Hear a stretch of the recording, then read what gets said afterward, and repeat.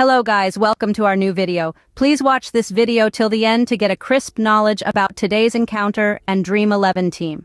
As you all know, today's match is between Bengaluru and Hyderabad. This match is taking place at the Rajiv Gandhi International Stadium in Hyderabad.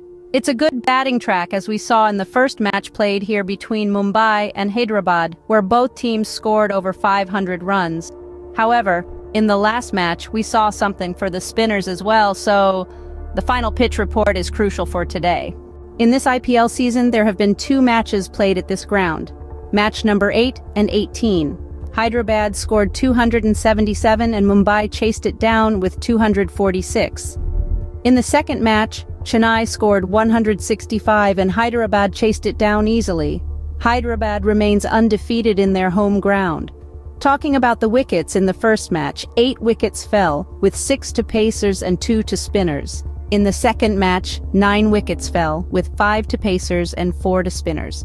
In total, 17 wickets fell, with 11 to pacers and six to spinners. It's a game for both batters and spinners on this ground, which is bigger than other grounds, but runs are still coming due to the excellent pitch. Looking at the most runs and wicket stats of the ground, Virat has scored 592 runs with an average of 59.2, while Bhuvi has taken 44 wickets. In the head-to-head -head analysis of both teams at the venue, out of 23 matches, Hyderabad has won 13 and Bengaluru has won 10. Hyderabad has been dominating, having already won a match against Bengaluru this year.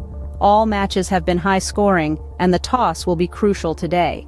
Overall, head-to-head -head records show that batting and bowling both get help on this ground. It's a new pitch where runs and wickets are both coming. Batters have an edge, but spinners also play a crucial role. Thank you for watching. If you like our videos, please like, share, and subscribe to our channel. Your support is needed to provide you with regular good content on cricket.